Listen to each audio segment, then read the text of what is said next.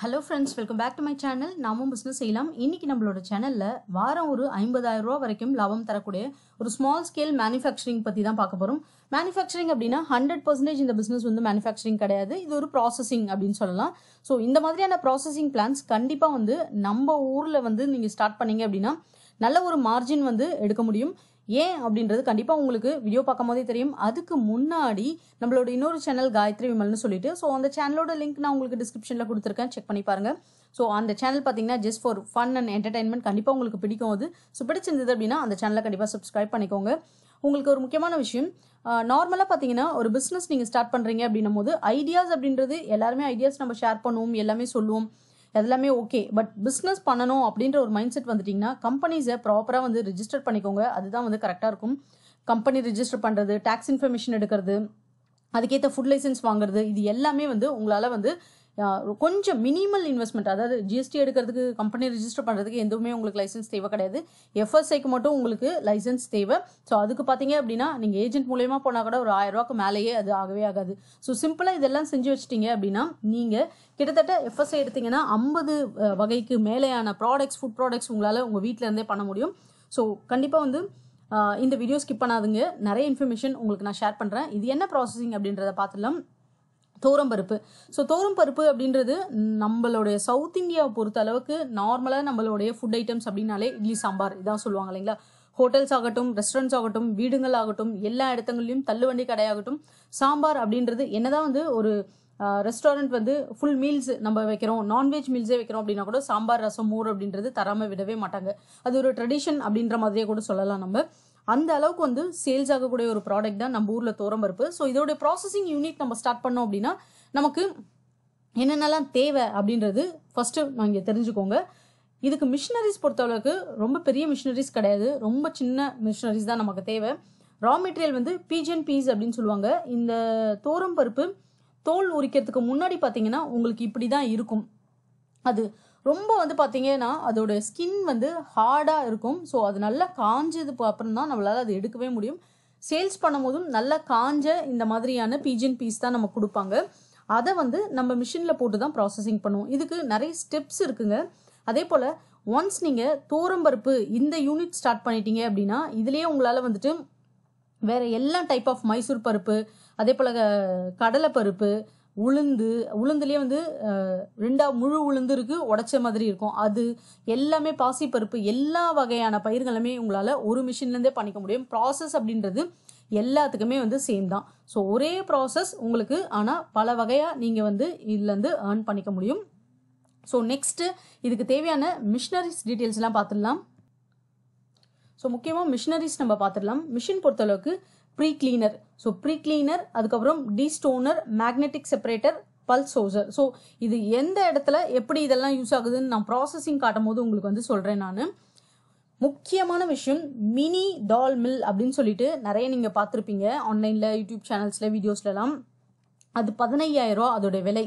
இதில் ஒரே ஒரு விஷயம் பதினையாயிரம் ரூபா அப்படின்றது என்ன கொடுப்பாங்க அப்படின்னா அந்த தோரம் பருப்பு தோல் மட்டும் நீக்கி கொடுக்கும் பார்த்தீங்களா அது மட்டும் வந்து வரும். அதுதான் வந்து பதினையாயிரம் ரூபா மினிமம் பார்த்தீங்க அப்படின்னா ஃபிஃப்டி தௌசண்ட் ருபீஸ் நம்ம வைக்கிறோம் அப்படின்னும் போது தான் எல்லா ப்ராசஸும் நம்ம பண்ணக்கூடிய அதாவது நான் இங்கே சொன்னேன் பார்த்தீங்களா ப்ரீ கிளீனர் டீஸ்டோனர் இந்த மாதிரியான எல்லா ப்ராசஸும் பண்ணக்கூடிய மிஷினரிஸ் கிடைக்கும். ஃபுல்லி ஆட்டோமேட்டிக் மிஷின்ஸ் வரைக்குமே பார்த்தீங்க அப்படின்னா உங்களுக்கு பெரிய பெரிய மில்லில் ஒரு மணி நேரத்துக்கே ரெண்டு டன் மூணு டன் அளவுக்கு ப்ரொடக்ஷன் கொடுக்கக்கூடிய மிஷின்ஸ் எல்லாம் உங்களுக்கு வந்து பார்த்தீங்கன்னா ஃபைவ் லேக்ஸ் டென் லேக்ஸ் அந்த மாதிரி ரேஞ்ச் போயிடும். நமக்கு ஒரு மணி நேரத்துக்கு ஒரு நூறு கிலோ இரநூறு கிலோ கொடுக்குற அவுட்புட் உள்ள மிஷினுடைய விலை பார்த்தீங்கன்னா ஐம்பதாயிரம் ரூபாய் நம்மளால் வாங்கிட முடியும்.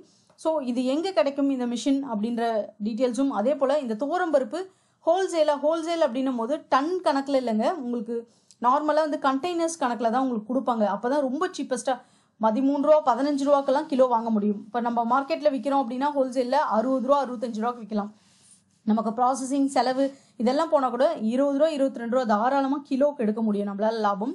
ரிக்வயர்மெண்ட்ஸ் பொறுத்த அளவுக்கு நமக்கு ஒரு ஃபைவ் ஹண்ட்ரட் ஸ்கொயர் ஃபீட்லேருந்தே நம்மளால இந்த பிஸ்னஸ் ஸ்டார்ட் பண்ணிட முடியும். இந்த மிஷின் போடுற அளவுக்கு உங்களுக்கு இருக்கணும் அப்படின்னா ஒரு ஃபைவ் ஹண்ட்ரட் ஸ்கொயர் ஃபீட்ஸ்லேருந்தே உங்களால் ஸ்டார்ட் பண்ண முடியும். மேன் பவர் மேன் பவர் வந்து ஒருத்தர் கண்டிப்பாக சப்போர்ட்டிங்க்கு வேணும். இப்போ நீங்கள் வந்து பிஸ்னஸ் ஸ்டார்ட் பண்ணுறீங்க அப்படின்னா ஒருத்தர் வந்து பேக்கிங்க்கு மற்ற மார்க்கெட்டிங் டீட்டெயில்ஸ் பார்த்துக்கிறதுக்கு இந்த மாதிரியான ஒரு பர்சன் வேணும். ஸ்கில்ட் அன்ஸ்கில்டு இந்த மாதிரி பர்சன்ஸ் நம்ம ரெக்ரூட் பண்ணிக்கலாம். ப்ரொடக்ஷன் யூனிட் அப்படின்றது தனியாக தான் இருக்கணும். நிறைய இடத்துல நம்ம பார்த்துருப்போம் இப்போ ஒரு கார்மெண்ட்ஸ் கம்பெனிக்கு நம்ம போகிறோம் இல்லை வேற ஏதாச்சும் ஒரு யூனிட்க்கு போகிறோம் அப்படின்னாலும் ப்ரொடக்ஷன் யூனிட்டை கூட்டிகிட்டு போய் யாருமே கஸ்டமர்ஸ்க்கு காட்ட மாட்டாங்க. ஸோ ப்ரொடக்ஷன் யூனிட் அப்படின்றது தனியாகவே இருக்கணும். அது வந்து ஒரு இரநூறு ஸ்கொயர் ஃபீட்டில் நீங்கள் மிஷினரிஸ் போட்டு வச்சிருந்தாலும் ஒரு தடுப்பு மாதிரி வச்சுட்டு அட்மின் டிபார்ட்மெண்ட் மார்க்கெட்டிங் அது ரெண்டும் வந்து ஒரு ரூம் ஸோ ப்ரொடக்ஷன் அப்படின்றது மிஷின் தேவைப்பட்டால் ஒழிய எப்போ தேவைப்படும்னா சம்டைம்ஸ் நம்ம மேலே இப்போ எஃப்எஸ்ஐஸ் ஏதாச்சும் ஒரு டீட்டெயில்ஸ் நம்ம வந்து கொடுத்துருக்கோம். வெரிஃபிகேஷனுக்காக வந்து பார்க்குறாங்கன்னா அந்த மாதிரி டைமில் அதே போல் நமக்கு ஏதாச்சும் பேங்க் லோன்ஸ் நம்ம அப்ளை பண்ணியிருக்கோம்னா அந்த மாதிரி டைமில் ஸோ இப்படி ரிக்குயர்மெண்ட்ஸ்க்காக மட்டும் தான் ப்ரொடக்ஷன் யூனிட் நம்ம வந்து டிஸ்பிளே பண்ணுவோம். மற்ற நேரத்தில் காமனாக வந்து கஸ்டமர்ஸ் கிட்டேயோ இல்லை நார்மலாக வந்து டீலர்ஸ் கிட்ட டிஸ்ட்ரிபியூட்டர்ஸ் கிட்ட இந்த மாதிரி வந்து பண்ண மாட்டாங்க. ஸோ அது வந்து நீங்கள் டிஸ்க்ளோஸ் பண்ணாதீங்க. ஸோ நார்மலாக ப்ரொடக்ஷன் யூனிட் தனியாக மார்க்கெட்டிங் தனியாக மாதிரி பிரித்து வச்சுக்கோங்க. எந்த ஒரு பிஸ்னஸ் செய்கிறதா இருந்தாலும். ப்ராசஸ் இப்போது இந்த தோரம்பருப்பை எப்படி ப்ராசஸ் பண்ணுவாங்க அப்படின்னா ஃபஸ்ட்டு ப்ரீ கிளீனிங் பண்ணுவாங்க. ப்ரீ கிளீனர் அப்படின்றது அந்த மிஷின்லேயே அதாவது விசிபிளாக பெரிய பெரிய அளவுக்கு வந்துட்டு ஏதாச்சும் இருக்குது ஸ்டோன்ஸ் இருக்குது இல்லை ஏதாவது சம்திங் பெருசாக இருக்குது அப்படின்னா அந்த தடுப்புலேயே அது நிறுத்திடும். நம்மளை அதை வந்து ஃபில்டர் பண்ணும் போதே.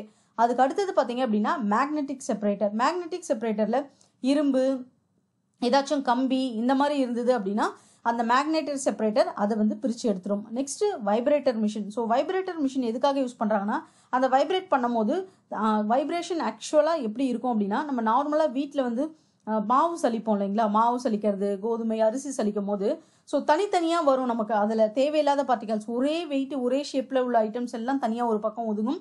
இன்னொரு தேவையில்லாத ஐட்டம்ஸ் எல்லாம் வேற பக்கம் ஒதுங்கும். அந்த மாதிரி தான் பிளாஸ்டிக் ஸ்டிக்ஸு ஏதாச்சும் பேப்பர் துண்டுங்க இந்த மாதிரி இருந்ததுன்னா அதெல்லாம் தனியாக ஒதுங்கிடும் அந்த வைப்ரேட்டரில் இதெல்லாம் முடிஞ்ச பிறகு சின்ன சின்ன கற்கள் இருக்க வாய்ப்புகள் இருக்கு. ஏன்னா இது வந்து மண்ணில் விளையக்கூடியது. ஸோ டிரான்ஸ்போர்ட்டேஷன்ஸ் தூக்கிட்டு வர்றது இந்த மாதிரி எல்லாம் பர்பஸ் பண்ணும் போது நமக்கு ஏதாச்சும் வந்து ஸ்டோன்ஸ் கண்டிப்பாக அதில் இருக்கும்.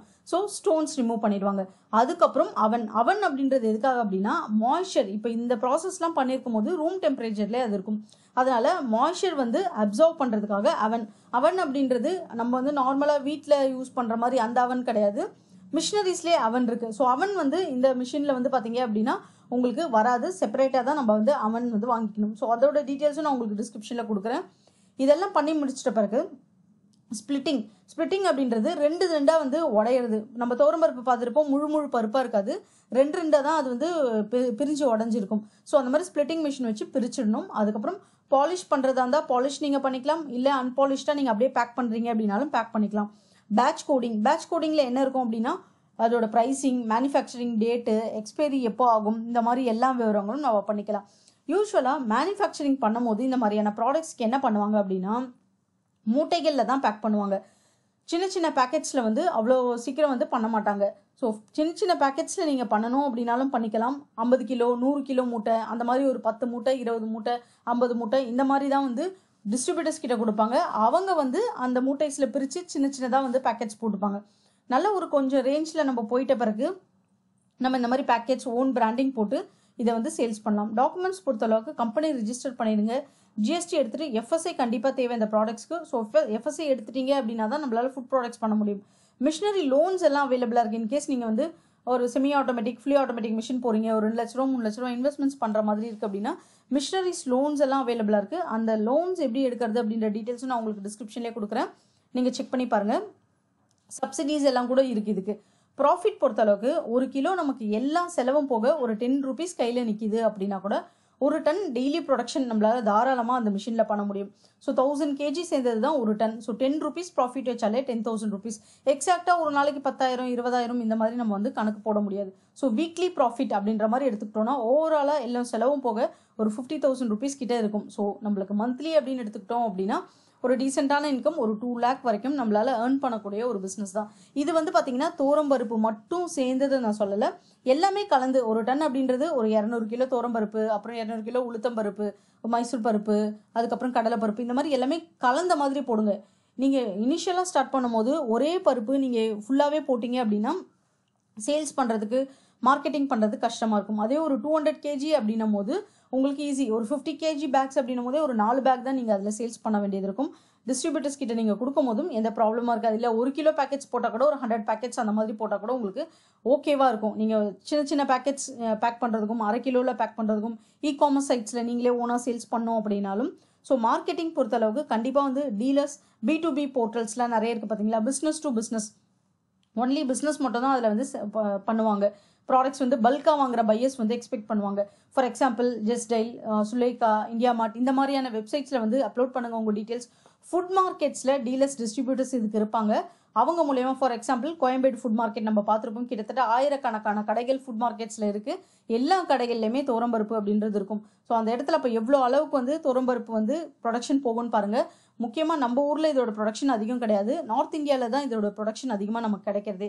ஸோ நீங்கள் உங்கள் ஊரில் இந்த மாதிரியான விஷயங்கள் ஆரம்பிச்சிங்க அப்படின்னா ஹோட்டல்ஸ் ரெஸ்டாரண்ட்ஸ் ஃபாஸ்ட் ஃபுட்ஸு சின்ன சின்ன கடைகள் முதற்கொண்டு உங்களால் ஈஸியாக சேல்ஸ் பண்ணிட முடியும். இனிஷியலில் இந்த மாதிரி ஒரு டன் ரெண்டு டன் பண்ணுறதுக்கு கஷ்டமாக இருந்தாலும் கொஞ்சம் போக போக உங்களால் வந்து ஒரு நாளைக்கு வந்து ஃபஸ்ட்டு ஒரு hundred KG two hundred KG அப்படி சேல்ஸ் ஆகி கொஞ்சம் போக போக நல்லாவே உங்களால் இன்கம் இதுலேருந்து ஜென்ரேட் பண்ண முடியும். ஸோ இதுக்கு தேவையான எல்லா டீட்டெயில்ஸும் நான் டிஸ்கிரிப்ஷனில் கொடுக்குறேன். செக் பண்ணி பாருங்கள் இந்த வீடியோ உங்களுக்கு பிடிச்சிருந்ததுன்னா நம்மளோட சேனலை சப்போர்ட் பண்ணுங்கள் சப்ஸ்கிரைப் பண்ணுங்கள் லைக் பண்ணுங்கள் ஷேர் பண்ணுங்கள் கமெண்ட் பண்ணுங்கள் தேங்க்யூ